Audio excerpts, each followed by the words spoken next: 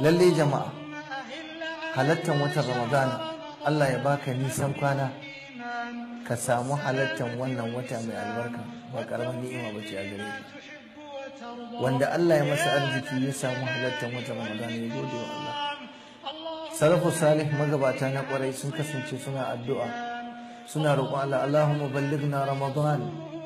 Wata shida kafin ramadan ya zo suna addu'a Allahumma ballighna ramadan. Ya Allah ka isar da mu wata ramadan. Saboda me?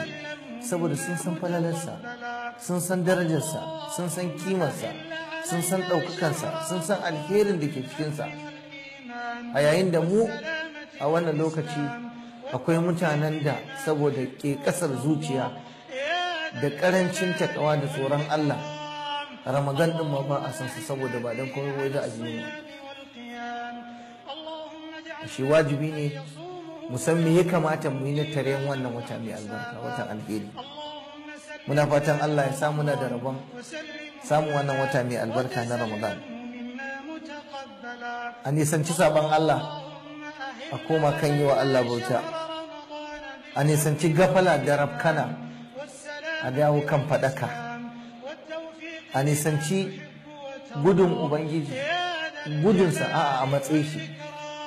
Wata ne da yake nuna mana mu matsi ubangiji mu zo kusa da ubangiji ta hanyar yawaita karatun alkur'ani yawaita salatin annabi yawaita tuba.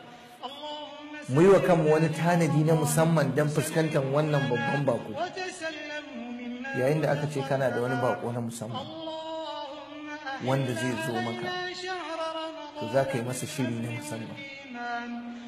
Salake ne shi? Mai unguwarku ne? A'a babban dan siyasa ne. A'a wani jami'i ne shugaba ne. Aka ce yau zai zo maka to kana yin tanadi na musamman don ka tari wannan babban bako naka. To a nan a matsayinka na musulmi wani shiri wani tanadi wani kimtsi kai don fuskantar wannan wata mai albarka watan ramadan?